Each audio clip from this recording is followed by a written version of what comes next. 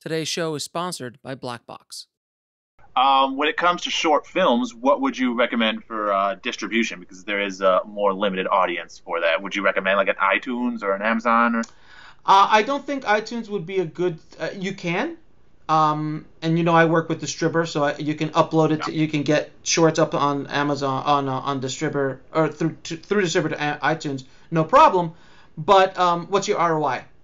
That's the, the it. when now you're in distribution mode. What's your ROI? So if I spend a thousand bucks to submit my short film on iTunes, just because I want to say, hey, my film's on iTunes, or is it a real business ROI? So what I would do if I had a short film is I'd upload it to Amazon for free. Go over to Yeah. rev.com, which I have no, I get no money from. Go to rev.com and get them closed caption and get the movie closed caption and upload it to Amazon. And now uh, you can you can put it up on Amazon. You can rent it there for 99 cents. Uh, you can have someone buy it there for 3.99 if they're if they're feeling froggy, or you can set it up as Prime. And you Huh. can and then you can put it up in Japan.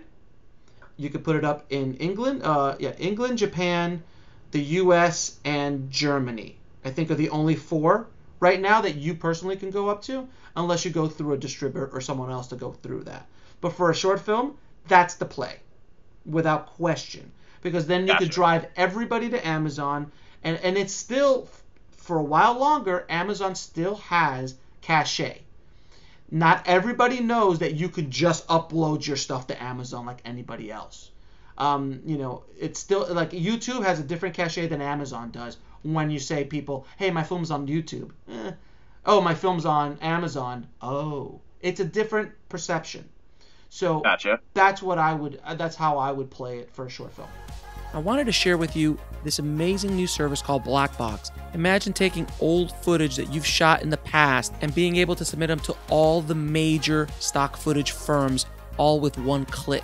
And you can split the commission among multiple crew members or creators. So to sign up for free, just go to blackbox.global.